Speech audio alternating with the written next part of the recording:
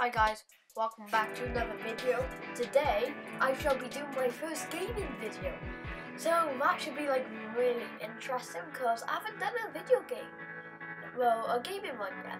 So I'm having to do voiceover because I screen recorded it because I don't have the right equipment and I haven't figured out how to do stuff yet because I don't really do the gaming videos.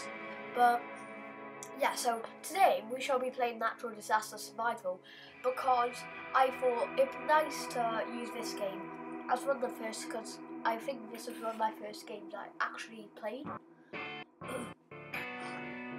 so it'll be nice to go and play it. So if you didn't know, the objective of the game is to survive a disaster each round on different maps. So let's get right into it then. I think this round I'll just do two rounds. So let's go, let's go, let's go. This isn't the only gaming one I'll be doing. I think I I'll do I definitely do more Roblox ones. But I'm thinking of doing Battlefront 2 campaign walkthrough and a um, Battlefront 2 arcade battle, like the great battles of Star Wars and stuff. So we have a lot installed. But so um, quick tips on this game is get somewhere high because it's easier to go down than to get up. But don't go to like that billboard over there because, well, the billboard, it, if it's a tsunami or flash flood, it snaps really easily. So it's a fire, and as you can see, the fire has started there. So the objective is not to like then.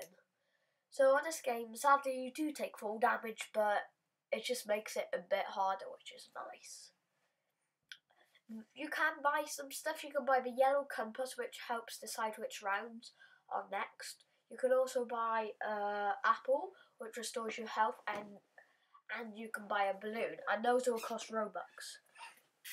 So that's enough of my talking for now. Uh, just enjoy the video. Um, so yeah.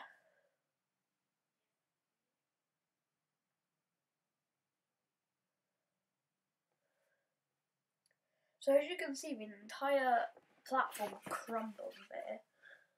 So that wasn't very good.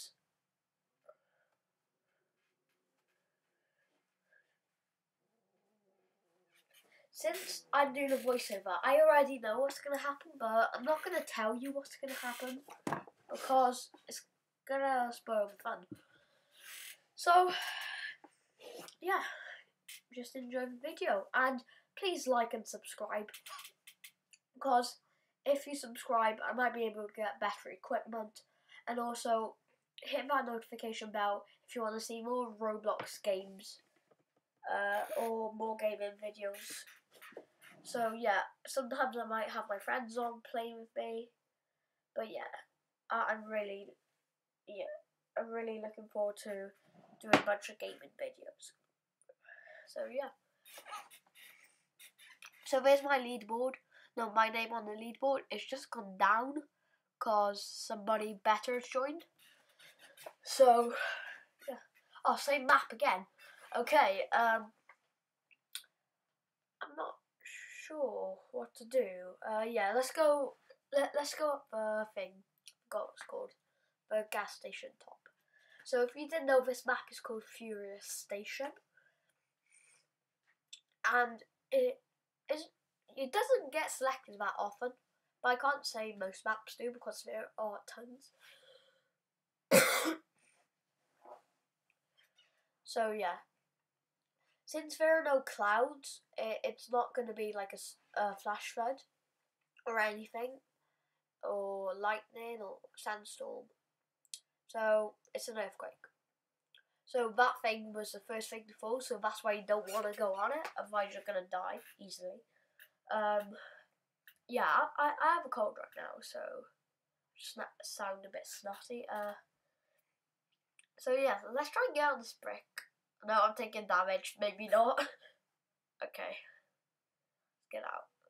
And if you didn't know, that little circle, circle is like a cursor.